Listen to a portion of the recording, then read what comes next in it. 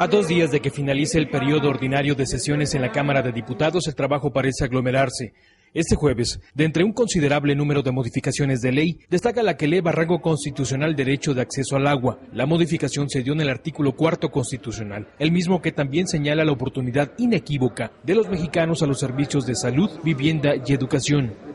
La iniciativa fue presentada en marzo de 2010 por el diputado sonorense Samuel Moreno Terán, quien es también parte de la mesa directiva de la 61 legislatura. Bueno, definitivamente aquí viene a obligar a los gobiernos, tanto federal, este, municipal como estatal, para que se le dote de agua potable a todos este, los ciudadanos eh, buscando más recursos para que podamos tener este vital líquido en nuestras casas. Obviamente, y hay que dejarlo muy claro, que no es gratuito, pero sí el que tengamos el derecho a tenerlo. Fue también modificada la ley de salud, de importancia para miles de personas que esperan hoy en día un trasplante de órganos, y es que se autorizó que las instituciones públicas que emitan documentos de identificación oficial incluyan en el mismo la anotación que exprese la voluntad del titular en relación con la donación de órganos.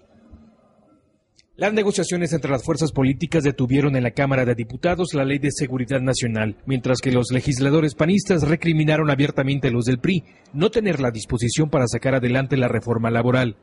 A San Lázaro llegó ya la minuta aprobada por los senadores, en donde se autoriza la reelección para alcaldes y legisladores, así como las candidaturas ciudadanas. Los diputados tienen hasta el sábado para aprobarlo en su caso.